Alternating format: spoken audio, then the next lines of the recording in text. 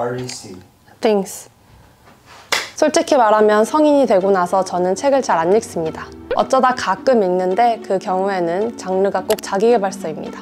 특히 수능으로 향하는 길목에서 학업에 대한 열정이 점점 불타올랐던 중학생, 고등학생 시절에는 자기계발서를 참 많이 찾아 읽었던 기억이 납니다. 공부 9단, 오기 10단. 가난하다고 꿈조차 가난할 수 없다. 10대, 꿈을 위해 공부에 미쳐라. 뭐 이런 것들 다 자기계발서의 고전이라고 할 수 있죠. 모든 분들이 그랬던 건 아니겠지만 저는 아직 인생 경험이 부족했던 그 시절 수능이라는 목표만 성공적으로 달성해내면 마치 그 이후에는 유토피아가 펼쳐져 있을 것만 같아서 저 스스로를 많이 다그쳤던 기억이 납니다. 어차피 수업 시간 때 졸 거면서 중학생 때는 매일 새벽 5시에 일어나서 센 수학을 푸는 습관이 있었고 어차피 문 닫는 시간까지 졸 거면서 고등학생 때는 야자 끝나고 꼭 독서실에 가는 습관이 있었습니다. 생각한 만큼 결과가 나오진 않더라도 학교에서 졸릴지언정 매일 일찍 일어나는 이 습관들이 이동 중인 통학버스 안에서 영단어를 암기하는 이 행동들이 언젠가는 보상이 되어 돌아올 거라는 강한 믿음이 있었던 것 같습니다. 그 믿음이 원동력이 되어 저라는 말을 동시에 채찍질하는 기수가 되어 매일 열심히 달렸습니다. 그러다 대학생이 되었고 학교 밖 세상이 너무나 넓다는 걸 알게 된 후에는 눈에 보이는 것도 귀에 들리는 것도 더 많아졌습니다. 자기 개발은 언제나 멋지고 쿨한 것인 줄로만 알았는데 왜 아파야만 청춘이냐는 의견도 들리게 되었고 세상에는 열심히 달리지 않는 사람 중에도 꽤 멋진 사람들이 많다는 것도 알게 되었습니다. 이렇게 자기 개발을 하지 않아도 괜찮다는 생각이 머릿속에 점점 들어오게 되었고 자기 개발을 하지 않는 게 몸도 마음도 좀 더 편한 게 사실이라 언제부턴가는 하루하루를 열심히 보내는 데 최선을 다하는 삶을 살게 되었습니다. 그러다 문득 며칠 전 평소처럼 유튜브를 보다가 조던 피터슨이라는 분의 영상을 보게 되었습니다. 목표가 없을 때 해야 할 일이라는 제목을 가진 영상이었는데 사실 영상의 내용이 무릎을 칠 정도는 아닌 것 같아서 이 영상 자체는 그닥 추천하고 싶진 않습니다만 놀라웠던 건 이 영상을 보고 있는 제 모습이었습니다.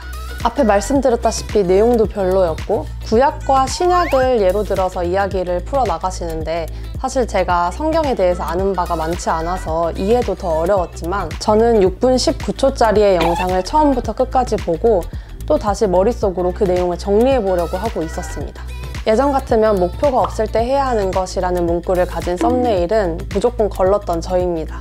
또는 그런 썸네일을 보고 마음속으로 한마디 하고 넘어가곤 했죠. 그게 뭐 목표가 없을 수도 있지. 그런데 제가 거의 7년, 8년 정도 만에 이런 영상을 보면서 자기 개발의 욕구가 생겼다는 겁니다. 한때 한 자기 개발 했다고 생각했던 저이기에 이런 모습을 다시 발견한 저는 굉장히 흥분됐고 내가 왜 다시 이렇게 됐을까 한번 고민해 보기 시작했습니다. 그리고 그 답을 찾은 것 같아서 오늘 이 영상에서 여러분께 그 답을 공유해 드리고자 합니다. 저는 지금 뉴질랜드에 산 지 만 2년이 되어 갑니다. 한국에서 보냈던 대학생 시절, 회사원 시절을 생각해보면 저는 항상 주변 이슈에 관심이 많았었습니다.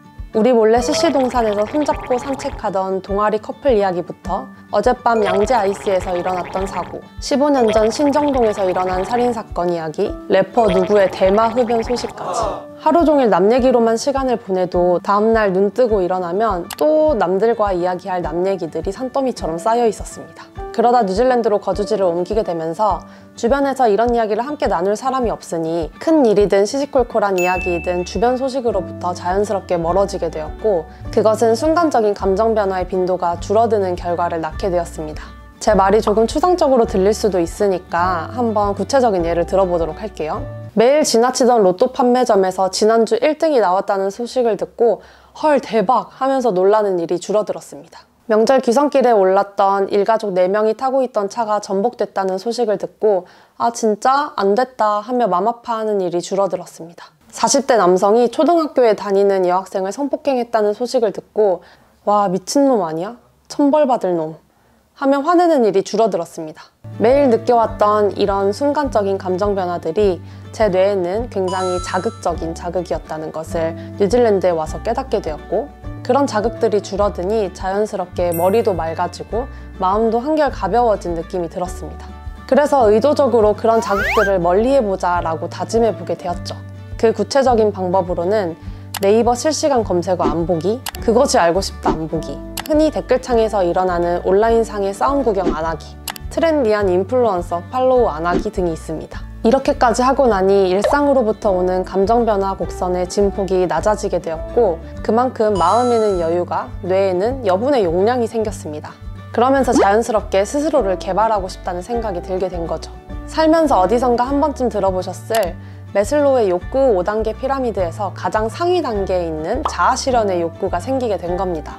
생각해보면 자기개발처럼 긴 호흡을 가지고 나에게 집중해야 하는 것이 남 얘기와 세상 돌아가는 이야기 하기에 바쁜 요즘 사람들에게는 잘 맞지 않는 activity가 된 것인지도 모르겠습니다. 왕년에 한 자기개발 하셨던 분들, 열심히 살았던 내 모습이 그립다면, 자기개발은 다른 세상 이야기라고만 생각했던 분들, 나도 할 수 있는 건지 궁금하다면, 욕구를 느끼는 건 자연의 일이라 우리가 손 쓰는 건 불가능하지만 그 욕구를 느끼게 만드는 생활 습관은 충분히 만들어 볼 만한 일입니다. 적어도 뭔가를 400번 젓는 것보다는 쉬울 거라고 생각합니다.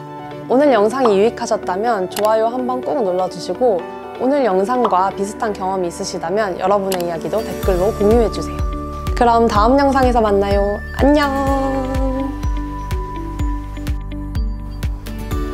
아, 아, 마이크 테스트, 마이크 테스트. 아, 아.